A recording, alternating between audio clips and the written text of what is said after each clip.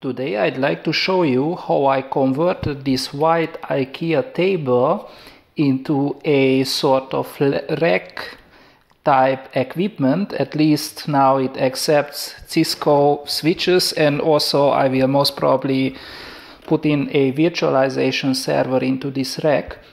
So then it can serve as a full CCNA or CCNP up to you rack in addition to this IKEA table, I also put in some wheels, which again makes the thing move really easily.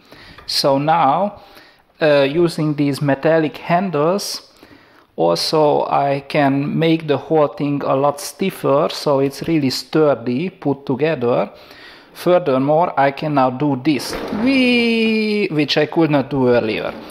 As you can see, there is plenty of space on the back side, so one can put in a full 19 inch server chassis, absolutely no problem. So then let's get on with the build.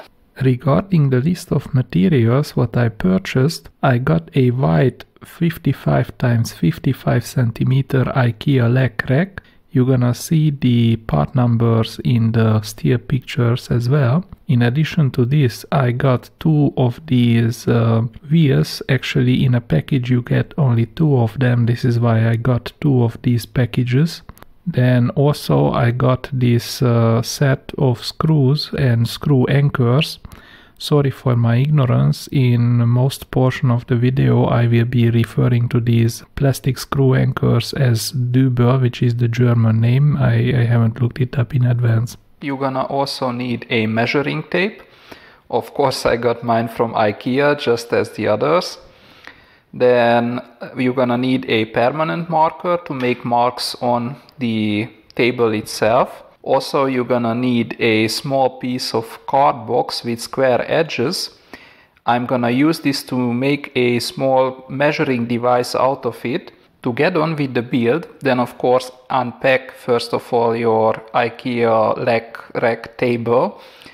Then next take this small piece of cardboard with the square edges then align it on the table's corners as good as you can.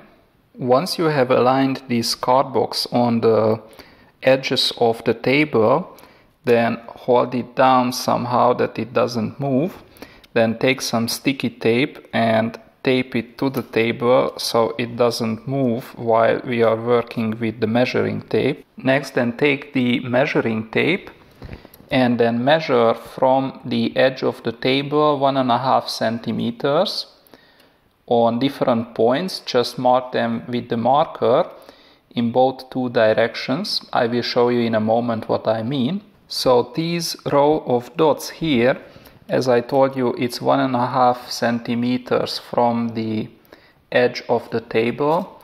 And also this row of dots here is one and a half centimeter from this edge of the table. So by connecting the dots, of course, we're gonna get two straight lines. Here then you see these dots being connected, getting the two straight lines, which are then intersect here. Next, we're gonna cut out this piece here and we're gonna use the remaining L shape to use it as a sort of quick measuring device so that we have an easier time when we try to align then these wheels on the table. Here is then this L-shape measuring piece of card box with 90 degree angles and one and a half centimeters times one and a half centimeter edges. And this is just the piece which we cut out. We can throw this away. Putting this wheel on the very edge of the table is again not really a good alternative because now if you drill a hole here and there and also there then this thing again will just break because you are very close to the edge. And this is then why I'm practically shifting everything that's uh, one and a half centimeters. So then I can use now that cardboard just align it with the table's edge and with the corner. And just take now the wheel then put it in here. And now I know that this is completely nicely aligned and the drill hole should not be hitting the other drill hole where the leg is then being screwed on.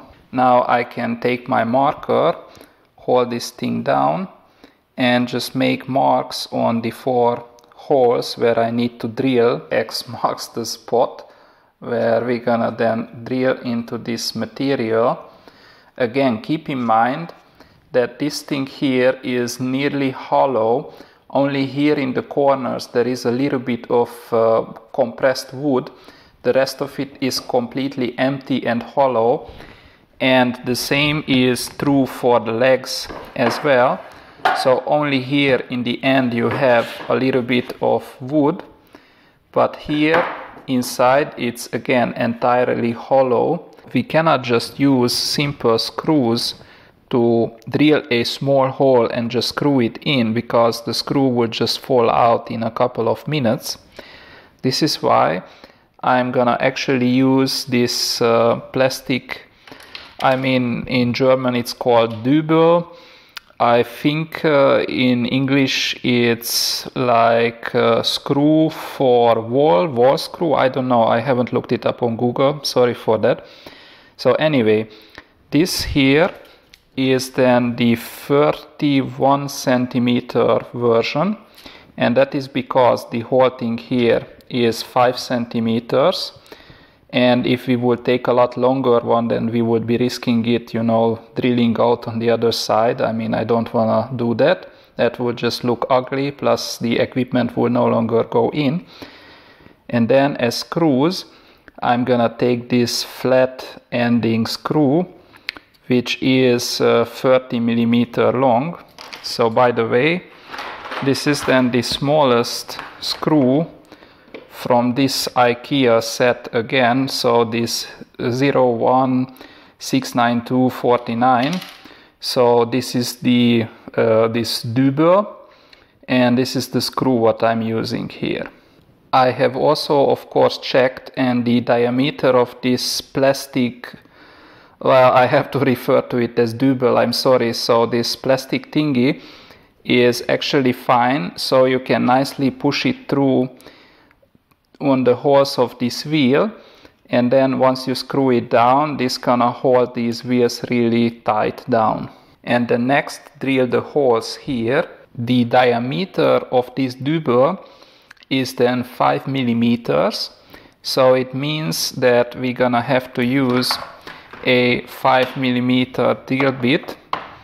And actually at the beginning I prefer to drill a small pilot hole. So I'm gonna use probably a 3 millimeter drill bit even though this material this wood or whatever it is it's a composite wood it's really soft. Nevertheless I prefer to drill a pilot hole and then next I'm gonna use the 5 millimeter drill bit to make the holes for this uh, plastic whenever you are operating power tools like this one you should definitely use some minimal safety precautions. So I'm using some safety goggles and some safety gloves. And in my view, this is a must have whenever you are dealing with power tools. It's a good idea to use this adjustable thing on the side of your power drill if you have one. So practically you can take this, by the way, in the meantime I looked it up, it's a screw anchor in English, so it's not Dübel. Uh, anyway, so you can then put it here and you can align it with the drill tip such that the drill tip is about 2 millimeters deeper than the plastic thingy itself and this way then when you drill then this will stop the drill going too deep into the material and since this is a hollow kind of wood cardboard thingy you can easily drill through the whole thing. Here are now the final 5 millimeter holes drilled so now it is time then to install these wheels or castors wherever you wanna call them. So I just align it with the holes. I take then my screw anchors. And then you can at the beginning you can push them in with your hand. And they're gonna get a bit more tight. Then you just hit them a couple of times with a hammer to drive it into this uh, wood or yeah composite material. I would not really call it wood. After you have installed all these uh, screw anchors then of course you can put in the screws nice so i got all the screws screwed in i turned it around took it around the block you know this uh, square skateboard and everyone was like cool, man. That that is like the stuff. In addition to that, also as a nice feature, I got even an emergency brake on this uh, skateboard, so it even makes it more awesome. On a serious note, though, this was the reason why I bought these larger diameter, more expensive wheels because they come with these blockers. So then you can be sure that your Cisco lab is not just rolling away from you once you then push down these things with your leg. Next then it is time to flip the whole thing over and then install these four screws what you got with your IKEA Lack rack table and then you first you just screw it in here. It's good to use a plier by the way I found it really useful and uh, once you have this screwed in until this point here then it is time to screw in the actual leg in the remaining portion. Now it's then time to screw on the leg. Once you have put in two of the legs, you should definitely put in also some rack mount equipment in order to actually align the legs because I will tell you in my case at least these uh, Cisco 3750Gs they are really a tight fit so you really need to take care that the legs are in the right angle being rotated completely parallel with the rack mount equipment. When I'm talking about tight fit, I mean that normally as an example you would need to screw in here the rack mount ears because these switches are really so tight in there that I just don't need to do anything. So they are sitting properly in this uh, Lack rack table. It's apparently an IKEA optimization for 19 inch Cisco switches. Once you have enough rack mount equipment between the legs, and of course I'm referring to the legs of the IKEA table. So once you have that and you have aligned the legs properly parallel with the equipment, then it's time to install then these metal handles which are actually having the same length like the distance between the legs. To install these metal stiffener handles, I found that the best procedure was that you first drill 3 mm holes on one of the legs in the top because this is here not hollow. Then you screw on one side of this uh, handle. Then because these screws exactly fit nicely in the 3 mm hole, then you actually pull about 2 or 3 millimeters on the other leg. Then you mark them with a permanent marker, drill those holes as well, then fix them with screws and then this thing will be rock solid. After we have them wired it up really really nicely and very carefully that there is uh, no layer 2 loop or actually I just maximized the layer 2 loops I think it's time to do its first power up test and let's see what it is doing. As expected, the spanning tree protocol gonna block of course these redundant links. This is why you see half of them should be now amber or yellow as you prefer. Of course, that's kind of boring, so let's see whether we can do something about it. So then I think it's time to do something naughty with that poor switch. Then here we go. Mm -hmm. We got some interfaces. Very nice. Now I'm gonna just put all the interfaces in the one VLAN of course.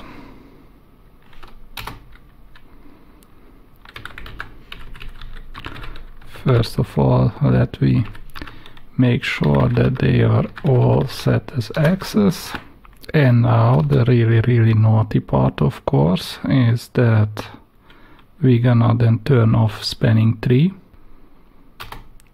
oh yeah This they should they should definitely do some more fun. Yeah, I think this definitely looks better. Well, Merry Christmas, everybody.